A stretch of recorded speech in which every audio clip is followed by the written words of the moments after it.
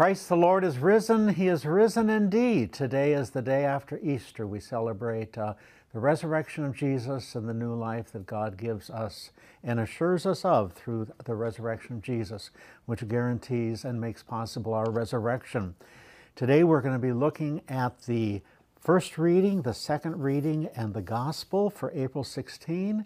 And we're going to be talking about three implications of the resurrection of Jesus, which you'll see on the study guide. Resurrection gives us great boldness. First reading gives us new life. The second reading and meets our greatest needs and addresses our deepest fears from the gospel. First of all, gives us great boldness. The first reading is from Acts chapter 2. This is Peter's sermon on the day of Pentecost. Uh, seven weeks after Easter, we celebrate Pentecost this year on uh, May 28, Memorial Day weekend. But uh, I mention in the study guide contrast the courage of Peter on the day of Pentecost with the way in which he had crumbled and denied his Lord just 52 days before on the night of the betrayal. I believe that one of the greatest evidences of the reliability of the biblical account of the resurrection of Jesus is the changed lives of the disciples. Uh, people are not willing to die for something that they know is a lie and if the disciples had not seen Jesus alive, and if they knew that he had not risen, but instead they had stolen the body or whatever, they, you could not account for the changed lives of the disciples. And so I ask the question how does the reality of the resurrection of Jesus give you boldness and courage for life? And uh, this world, this, our society, life is just filled with all sorts of hassles. Uh, on the news today was another shooting. There are so many reasons to be afraid and, and just to uh, be discouraged. Well, how does the reality of the resurrection of Jesus, something that actually happened, give you boldness and courage? Also, how does your or does your changed life give evidence for the people that you know of the reliability of the biblical account of the resurrection?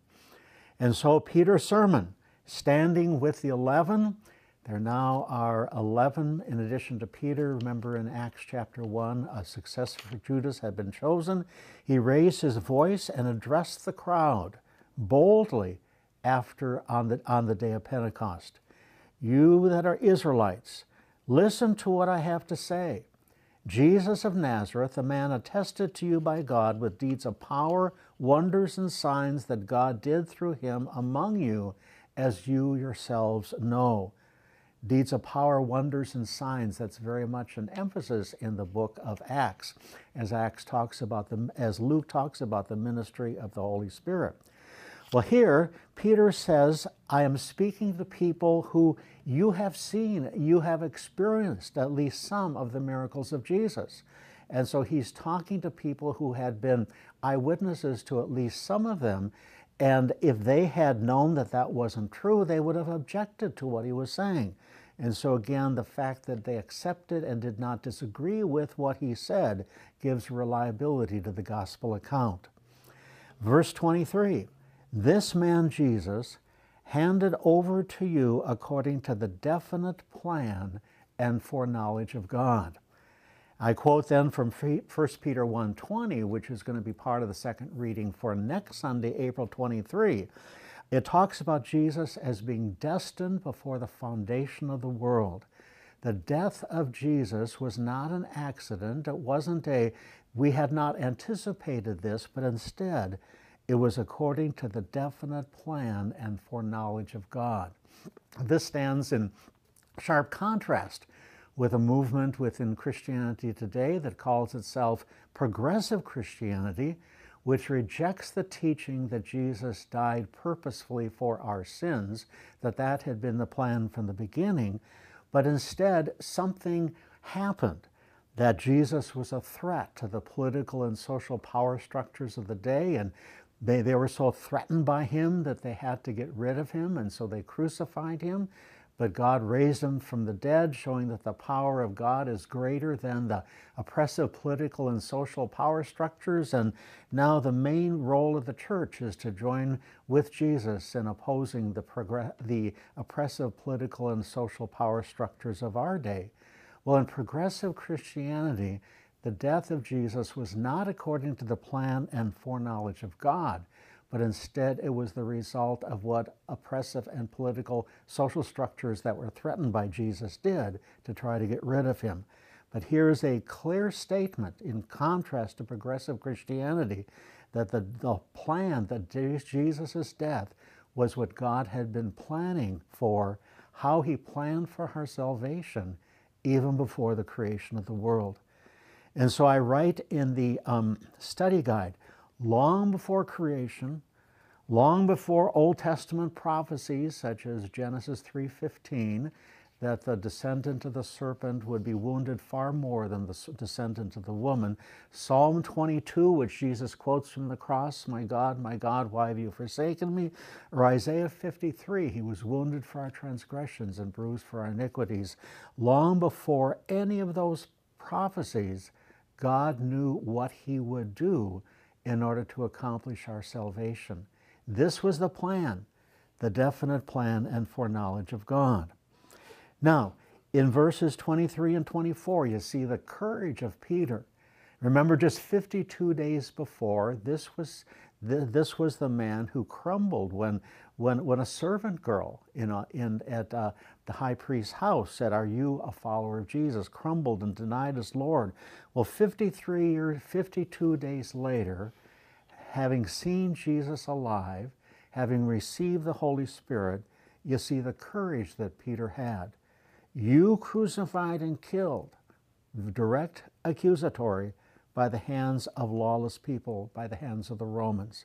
But God raised him up, having freed him from death, because it was impossible for him to be held in its power. I like that phrase, you did this, but God. I write on the study guide two of the best words in the Bible are, but God. God intervenes, God turns things around, God changes things. And so I ask the question when are some of the times in your life when you experienced a but God moment? This was happening, but God. You were overwhelmed by the situation, but God. You did not know what you were going to do, but God. There's a song by the uh, Christian contemporary group um, Hillsong United I don't know how you make a way, but I know you will. I'm in this situation, but God. Wonderful words. What have been your but God moments in your life? So the resurrection of Jesus gives us great, uh, great boldness. Second, the resurrection of Jesus gives us new life. Uh, this is from 1 Peter, the first of two letters of the disciple Peter. I added a couple verses to the second reading that Peter writes to begin this letter. Peter, an apostle of Jesus Christ, to the exiles of the dispersion, also can be translated to the resident foreigners of the diaspora. The scatteredness of the church was diaspora, like a spore, a seed, seed that is scattered in Pontus, Galatia, Cappadocia, Asia, and Bithynia. Let's look at the map, and so we'll be able to see where these people places are. We see at the end of 1 Peter that Peter is in Rome when he's writing, and he's writing to the Christians because as he writes the letter, you can tell that he's writing to um, mostly non Jewish Christians. Um, but he's writing to the Christians that are in Asia, which is Western Turkey, not just the con- not the whole continent as we think of today, Bithynia, Pontus, Galatia, Cappadocia. The, he's writing to Christians that are scattered uh, through Turkey. So Peter, writing to the exiles who have been chosen and destined by God the Father, and I mentioned in the study guide, note the Trinitarian form of the writing. The word Trinity, three triunity, one God, three persons, the word Trinity does not appear anywhere in the scriptures. The word Trinity is a word that early Christians came up with in order to describe what the scriptures say about God. That God is Father, God is Son, and God is Holy Spirit. And so um, the uh, one God, three persons.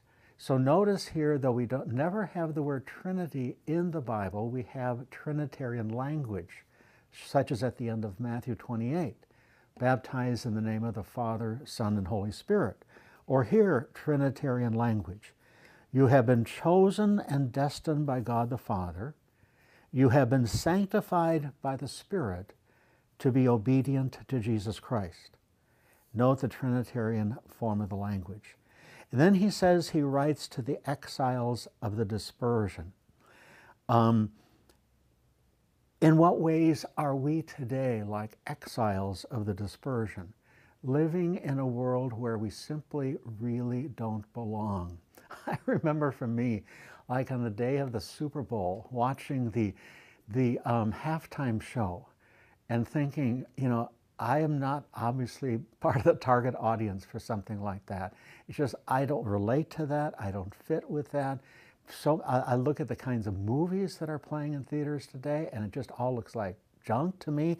It's like I, I feel like an exile. I don't belong. I really am not at home in a world that has values like this. We also are like exiles of the dispersion. And then it's interesting, um, he, um, let's see, on the study guide I mentioned in chapter 5, verse 13, where Peter is finishing the letter and he says, Your sister church in Babylon. And generally it's thought to be the Christian church that is in Rome, because Rome, Babylon was the great power that opposed God in Old Testament times, Rome would be the great power at this particular time.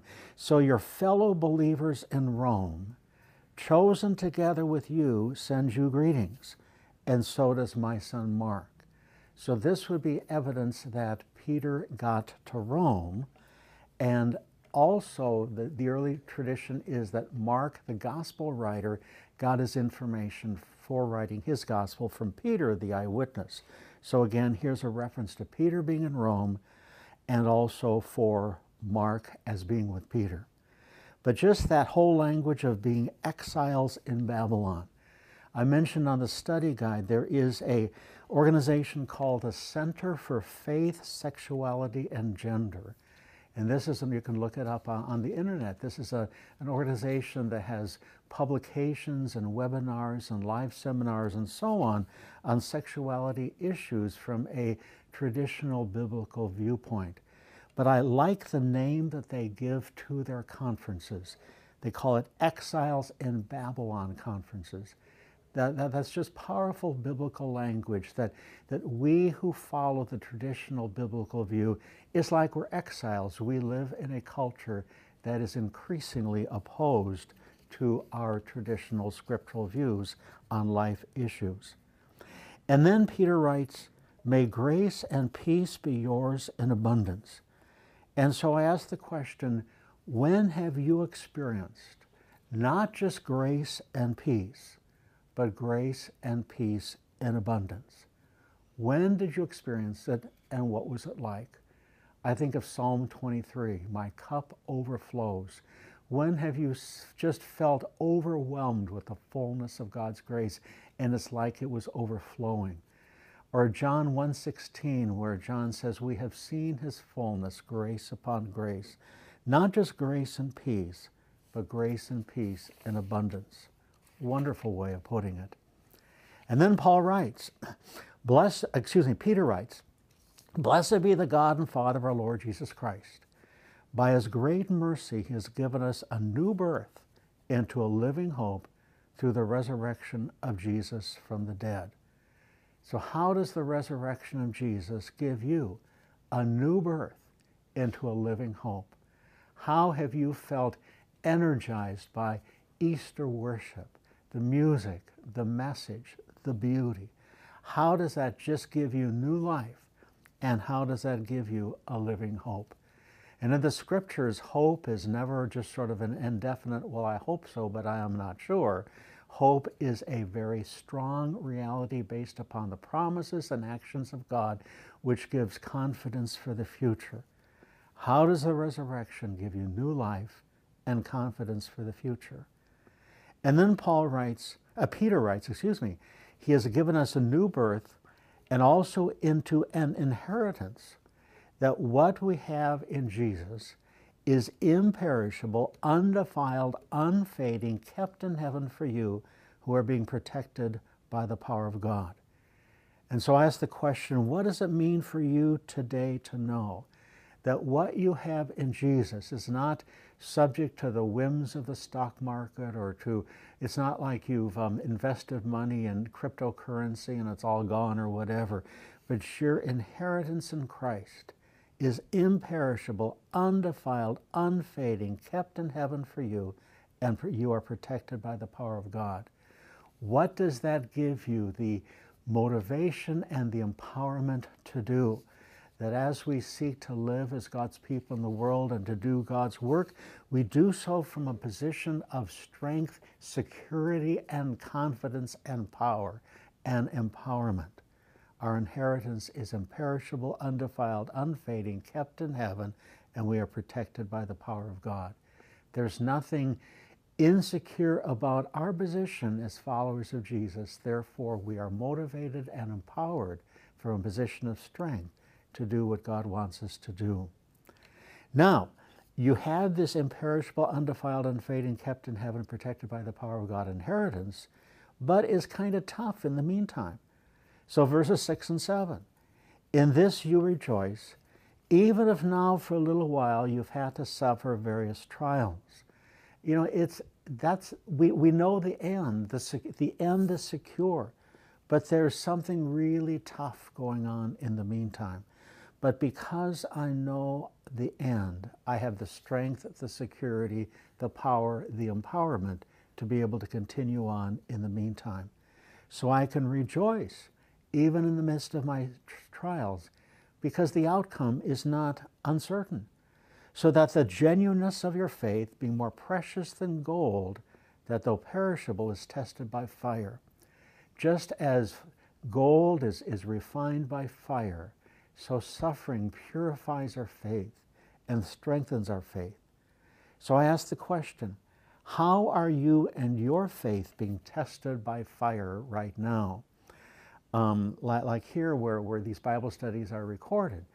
It's, um, or, or, just think, we, we've just been through COVID, which was a terrible experience, and now there's road construction on Happy Valley, and how long will this go on?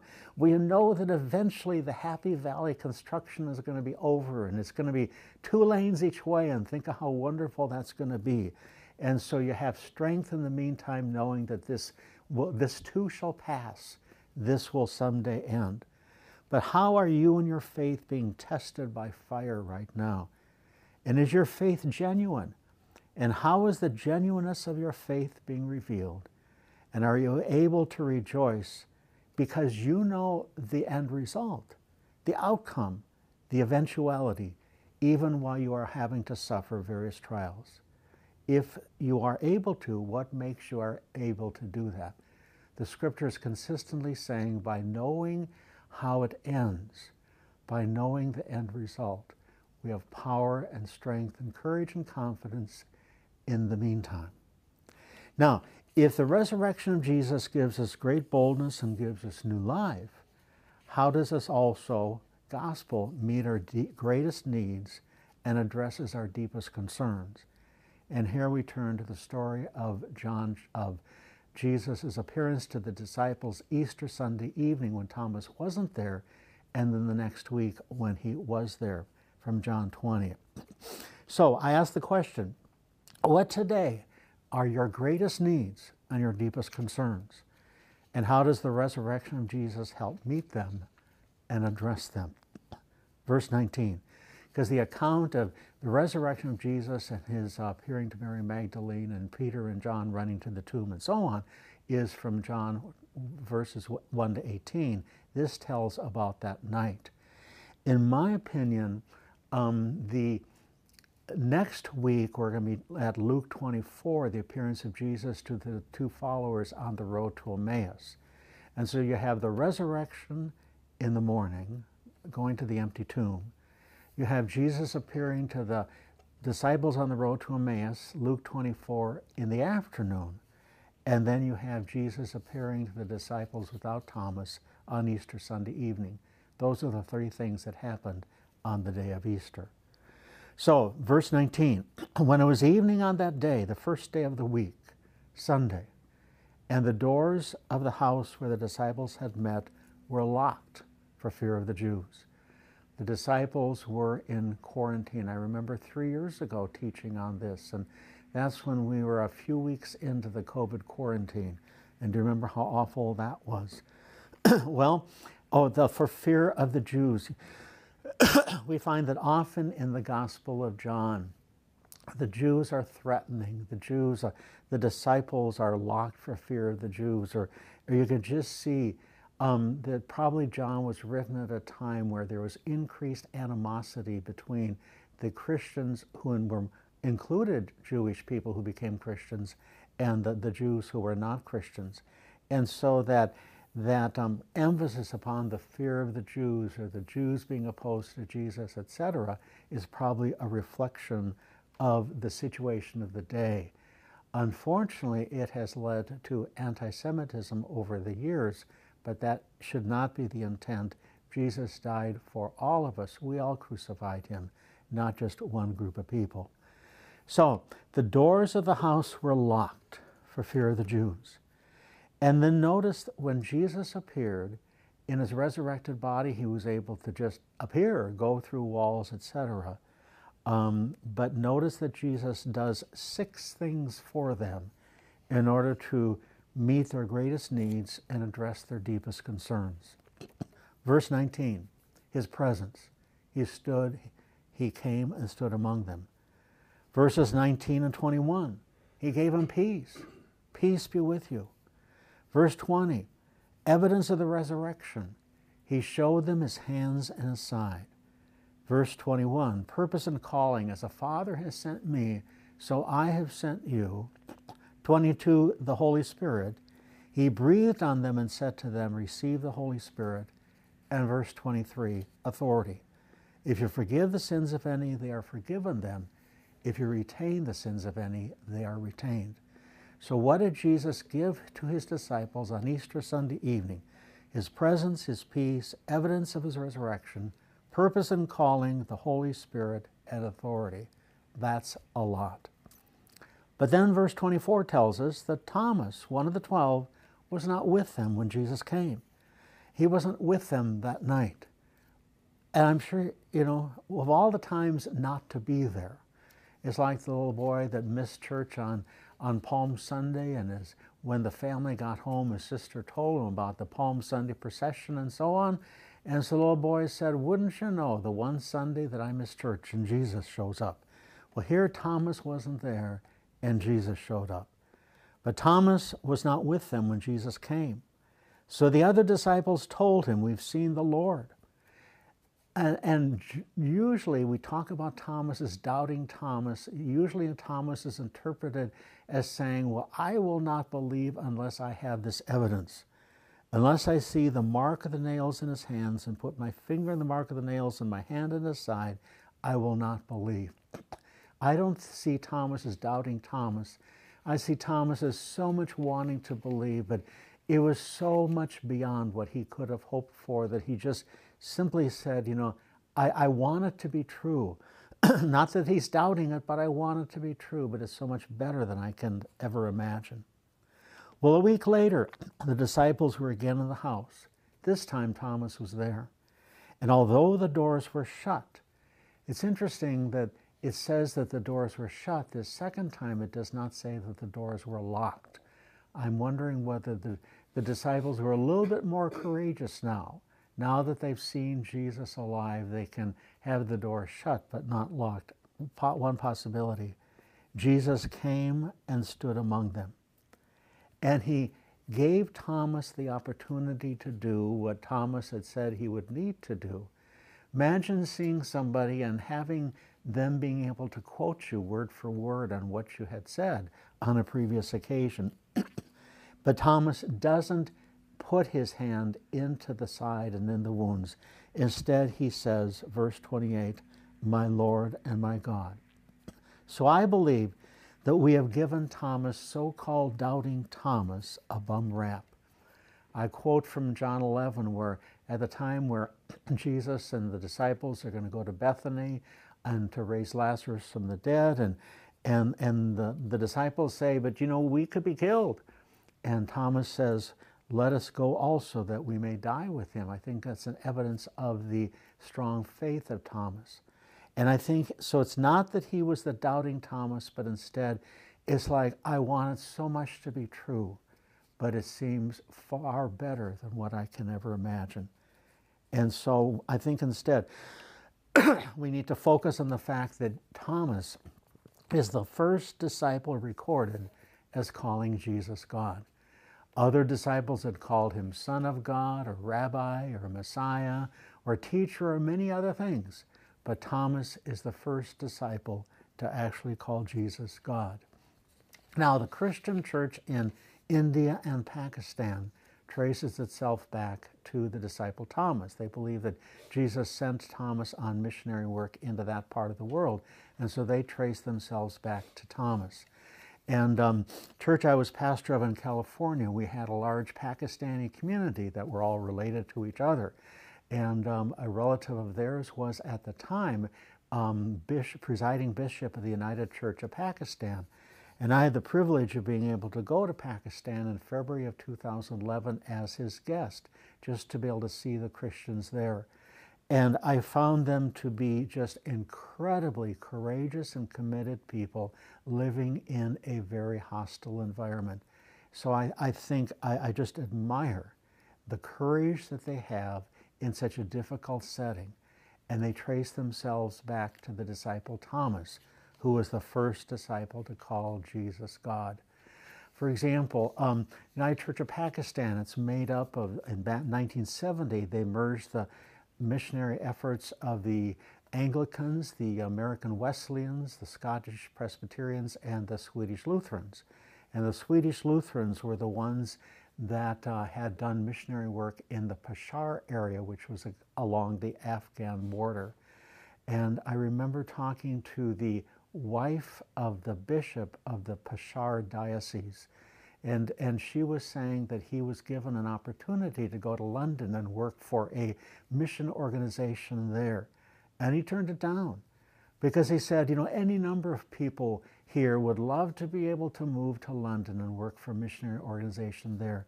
But who in the world are they ever going to be able to get to be, uh, to be bishop of the Peshawar diocese because of the, you know, the Taliban and all the uh, terrorist activity that was happening in there.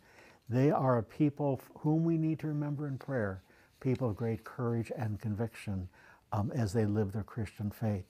So, how does the resurrection of Jesus give you great boldness? How does it give you new life? And how does it meet your greatest needs and address your deepest concerns? And let's pray. Our Lord Jesus, we see the tremendous change that took place in the life of Peter because he knew that you were alive. We pray that our, we also will have courage knowing that you are alive and that our changed lives will give, will give witness, powerful witness to the reality of your resurrection. We thank you for the fact that what we have in you is imperishable, undefiled, and kept in heaven for us. Therefore, knowing that our future is secure, we have the motivation and the power and the empowerment to be able to do with confidence what you challenge us and ask us to do. And we thank you, Lord Jesus, that as you appeared to your disciples and gave them your presence, peace, evidence of your resurrection, purpose, calling, the Holy Spirit, and authority, that you have those same gifts for us today. In Jesus, your name, your risen name, we pray. Amen.